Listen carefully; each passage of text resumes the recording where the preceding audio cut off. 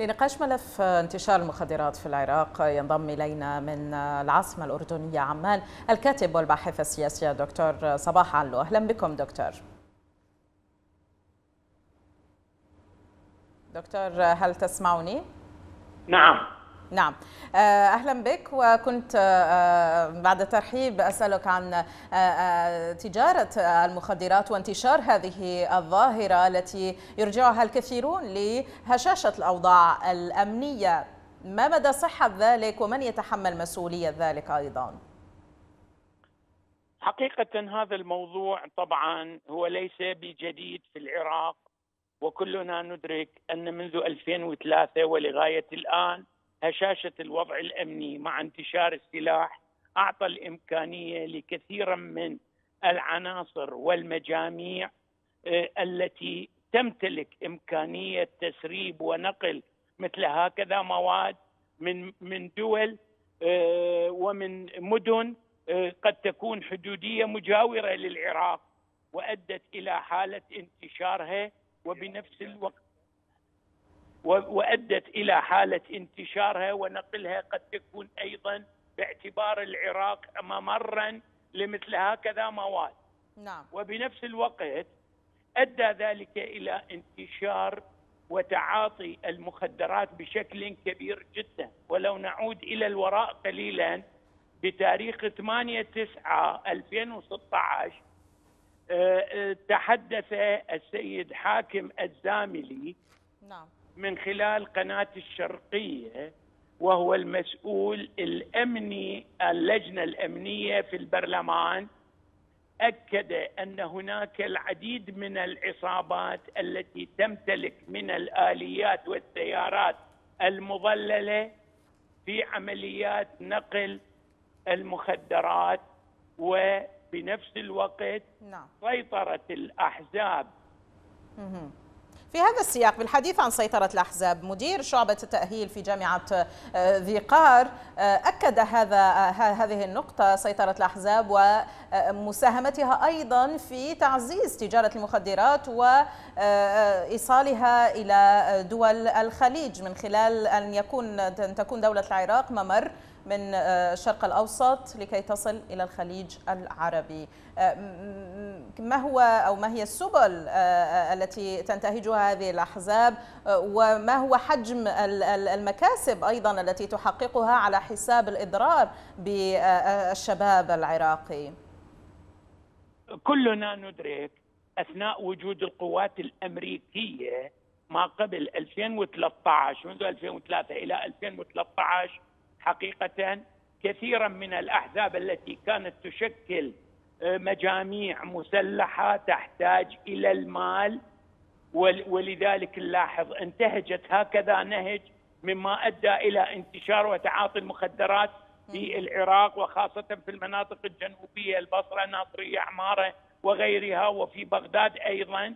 وبنفس الوقت هي التي تسيطر حاليا خصوصا بعد 2013 على المنافذ الحدودية أم قصر وكذلك أيضا الشلامشه وغيرها. نلاحظ وتسهل عمليات دخول هكذا مواد وبكميات قد تكون كبيرة. وكلنا ندرك أن القوات الأمنية آه ظهرت على آه شاشات التلفزة بأنها استطاعت من مسك آه أعداد وكميات كبيرة جدا. ولكن لم تعلن عن مصادر العناصر التي كانت تسرب وتنقل هذه المواد وتساعد في عملية إدخالها إلى العراق أو نقلها إلى دول الجوار أو دول نعم. أخرى كممر لنقل هذه المخدرات. هل تظنون أن هذا التكتم عن مثل هذه الجرائم وحجم هذه الأضرار التي تصيب الشباب هو ما دفع اليوم الشباب في البصرة وغيرها للهتاف ضد هذه الميليشيات التي تتورط في مثل هذه الجرائم لترويج المخدرات؟ هناك دراسات وإحصائيات حقيقة تؤكد أن أكثر من 30% من الشباب ما بين عمر 18 إلى 30 عاما يتعاطون المخدرات. نتيجة لجملة من العوامل، أولى هذه العوامل البطالة نعم. آه، ازدياد حالة الفقر آه، حالة من حالات آه، الاضطهاد في الحقوق من حيث التوظيف أو التمييز وغير ذلك.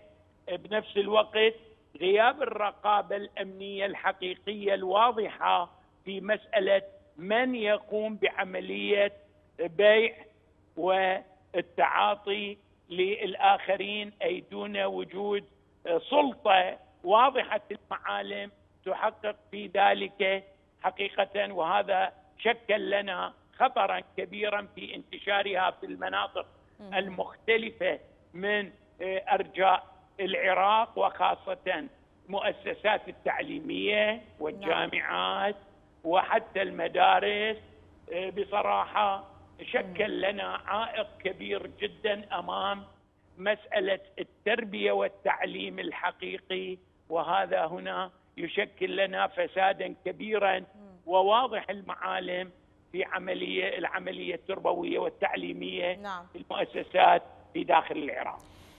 تحدثتم عن استخدام هذه المخدرات من المنافذ الحدودية كيف يمكن الحد أو على الأقل فرض أدنى قدر ممكن من الرقابة على هذه المنافذ لتقليل من هذه استيراد هذه المواد المخدرة؟ بصراحة أهم جانب أساسي إن لم يتمكن تتمكن الحكومة من فرض الأمن وجمع السلاح ومنع عملية انتشاره. هو الجوهر الأساس الذي سيضعف كل شكل من أشكال المجاميع التي تتعامل وتتعاطى في عمليات النقل وغيرها. هذا هو الجوهر الأساس أي الخلل الأمني. ولذلك نلاحظ هناك تأكيدات جوهرية وأساسية من كثير من المراقبين السياسيين يؤكدون أن هشاشة الوضع الأمني هي التي تعطي الإمكانية في استمرار عمليات النقل والتعاطي ودخول المخدرات من خارج العراق عن طريق منافذ يسيطر عليها مسلحون أو مدعومون من قوى سياسية وأحزاب أو مجاميع مسلحة بما فيها حتى العشاء. شكرا. شكرا جزيلا لك الكاتب والباحث السياسي الدكتور صباح علو كنت معنا عبر الهاتف من عمان.